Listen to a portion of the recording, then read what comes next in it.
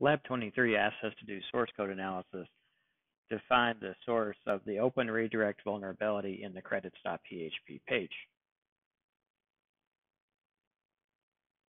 This vulnerability is an open redirect. If we take a look at the link on the page, we'll just paste it up here in the bar so we can see it easier. We'll notice that it's not a hyperlink, but instead it's actually using a redirection from the forward URL parameter to send the user to whatever page is specified as the value of that parameter.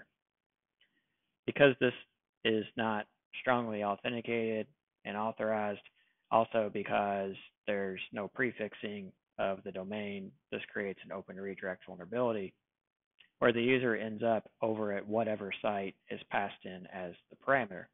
So if we were to change this from OWASP.org, which was the intended site, to say google.com, we would end up at Google instead of ending up at OWASP. This can create a dangerous situation because a hacker can create phishing links very easily from these types of vulnerabilities, and these phishing links are very hard even for sophisticated users to detect. So let's go find the vulnerability in the page. Let's take a look at the page doing the redirecting. So if we look at this link again, we'll notice that redirect and log is the page that's actually doing the redirecting. So we're going to open up that page and take a look at what the vulnerability is. We scroll down to the bottom, we'll notice that the parameter comes in,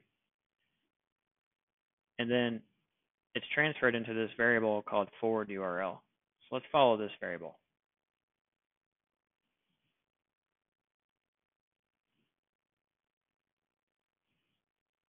Depending on the security level, that parameter may or may not be strongly validated.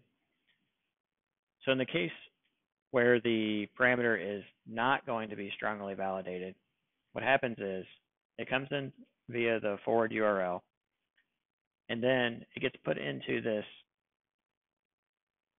HTTP equiv refresh right here. And whatever the value of that variable is, the user just ends up getting redirected. Now notice that Mutillidae has several different modes, and this is for case zero or security level zero. If we're in security level five, the whole system works differently. But we're not in that mode.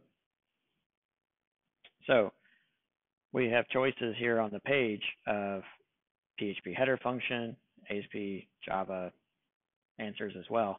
But we know from looking at the code, the correct answer is creating an HTML meta element with the HTTP equiv attribute.